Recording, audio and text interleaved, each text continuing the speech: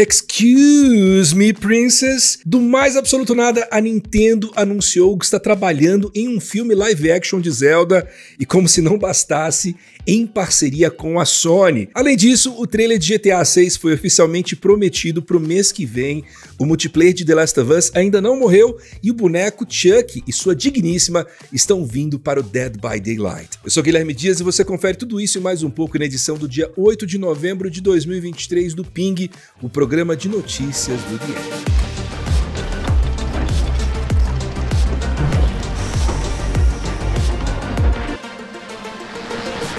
É, galera, a Nintendo pegou todo mundo de surpresa na noite de terça-feira, dia 8, anunciando que está trabalhando em um filme live action de The Legend of Zelda. A publicação aparentemente foi escrita pelo próprio criador da franquia, o Shigeru Miyamoto, e afirma que Miyamoto está trabalhando com o famoso produtor Avi Arad para desenvolver o projeto. O Arad trabalhou na maioria dos filmes da Marvel que não são da Marvel Studios, como os primeiros X-Men, e mais recentemente no Aranha Verso. Além disso, ele produziu as adaptações de Uncharted e do ainda não lançado Borderlands, então tá meio familiarizado com os videogames. Ironicamente, essa parceria aí tá envolvendo a Sony Pictures, rival da Nintendo nos games, que vai ajudar a financiar e distribuir o longa-metragem. O processo parece estar bem no início ainda, mas já foram divulgados mais alguns nomes importantes. O diretor de The Legend of Zelda vai ser o Wes Ball, que fez a trilogia Maze Runner e que está fazendo o próximo Planeta dos Macacos, que estreia em 2024. Segundo o site Deadline, o roteiro é do Derek Connolly, que trabalhou em Detetive Pikachu e na franquia Jurassic World. E que a Nintendo seguiria com essas adaptações aí de alguma forma, a gente já esperava. Em 2023, a animação Super Mario Bros., o filme que foi feita junto com o estúdio Illumination, faturou mais de um bilhão de dólares. Ele ficou atrás apenas de Barbie no ranking de bilheteria mundial do ano, tanto em vendas quanto em crítica, e é um dos principais candidatos ao jogo do ano no The Game Awards. Na época do lançamento do novo Zelda, o produtor Eiji Aonuma declarou que tinha interesse em ver um filme da franquia sair do papel, mas que não dependia apenas dele, mas também da voz dos fãs. E pelo visto, os fãs falaram. Bom, aí já que a Nintendo está abrindo as porteiras das adaptações, eu convido você a ver o nosso Enemy Zone discutindo sobre quais são os próximos jogos que a empresa poderia levar para o cinema. A gente ficou ouvindo muito rumor sobre revelação de GTA 6 nas últimas semanas e parece que tinha um fundo de verdade nisso, porque o estúdio Rockstar Games comunicou que vai mostrar o primeiro trailer do próximo jogo da franquia no início de dezembro. Em nenhum momento a empresa usou o nome GTA, mas é o título que a gente está esperando que seja, né?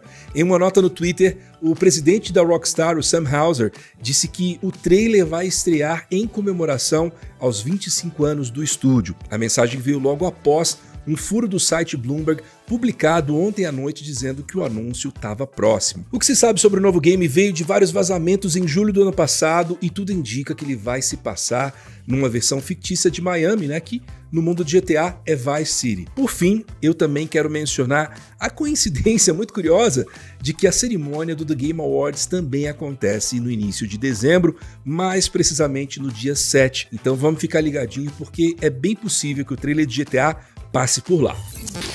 E falando de jogos que estão demorando para sair, o diretor daquele multiplayer lá de The Last of Us, o Vinit Agarwal, disse no seu perfil do Twitter que o projeto segue vivo e que ele está trabalhando nele. Na verdade, ele estava comemorando que conseguiu passar de um trecho em Super Mario Wonder e comentou que sim, ele ainda está trabalhando naquele game lá. Para contextualizar um pouco, rolaram notícias de que o jogo multiplayer de The Last of Us não ia bem em maio passado, quando o site Bloomberg apurou que a Sony tinha reduzido o escopo do jogo. Depois, em outubro, o Kotaku noticiou o engavetamento do projeto, acompanhado da onda de demissões que afetou cerca de 25 desenvolvedores terceirizados. O diretor, no entanto, já desmentiu mais de uma vez que o projeto está na geladeira. Agora, quando ele vai sair, isso ninguém parece saber.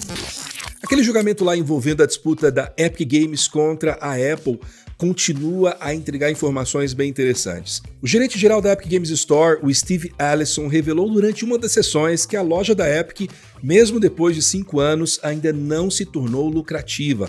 O foco atual, segundo ele, é fazer com que a loja digital cresça. Foi em dezembro de 2018 que a Epic Games lançou a sua própria loja digital. Na época, ela tentou tornar o serviço atraente oferecendo uma divisão de receita mais generosa para os desenvolvedores, algo que ainda acontece. E para chamar novos usuários, a empresa usa desde então estratégias como o oferecimento de jogos gratuitos e exclusividade de alguns títulos no PC, como o Alan Wake 2, né, que é publicado pela própria Epic. Por outro lado, a Epic Games, a mãe da loja, também anunciou demissões em setembro, afetando cerca de 830 funcionários. Segundo a companhia, cerca de dois terços dessas demissões atingiram equipes fora do desenvolvimento principal. De qualquer forma, a novidade é interessante. É um investimento de prazo bem longo e a empresa vai ter que fazer mais, pelo visto, para alcançar os seus rivais como o Steam. Uma ótima notícia para quem joga Dead by Daylight. O brinquedo assassino Chuck está a caminho do jogo e vai vir acompanhado da sua esposa Tiffany Valentine. A dupla chega nos consoles e no PC no dia 28 de novembro, mas no servidor de testes eles já estão disponíveis agora. O boneco psicopata mais amado do cinema se une a uma longa lista de ícones de filmes de terror que aparecem em Dead by Daylight, incluindo lá o Michael Myers de Halloween, o Fred Krueger de A Hora do Pesadelo e o Pinhead de Hellraiser. Por ser muito menor que os outros personagens, o Chuck vai ser não apenas furtivo, mas também vai ser controlado em terceira pessoa. E de acordo com o IGN, o espírito da forma humana de Chuck, o Charles Lee Ray, aparece como um espírito no jogo para ajudar o pequeno assassino a matar vítimas que tendem a ser muito maiores do que ele. Olha, embora não existam detalhes específicos que citem a esposa do Chuck, o mais provável é que ambos contem com as mesmas habilidades, já que eles são meio parecidos, né? O jogo está disponível no PS5, Xbox Series, PS4, Xbox One, Nintendo Switch e também no PC. E aí tem as versões Android e iOS também. Vamos agora para os aniversários do dia 8 de novembro. Às vésperas do lançamento de Modern Warfare 3, está fazendo aniversário de 13 anos o Modern Warfare 3 original. O jogo encerrou aquela primeira versão ali da subsérie de COD, concluindo as histórias de Price e Soap, pelo menos até elas serem rebutadas alguns anos depois. O primeiro jogo do diretor Hideo Kojima após sua saída da Konami completa quatro anos hoje. O Death Stranding é estrelado pelo ator de The Walking Dead Norman Reedus e traz uma história bem viajada em uma versão dos Estados Unidos devastado por um cataclisma. E completando um aninho de lançamento tem também o Sonic Frontiers. O jogo foi meio divisível entre fãs e críticos, mas trouxe uma ideia nova para a série, deixando Sonic correr em um mundo aberto. E assim a gente encerra a nossa rodada de notícias de hoje. O Ping volta na sexta com mais novidades. Um grande abraço para vocês e até a próxima. Tchau!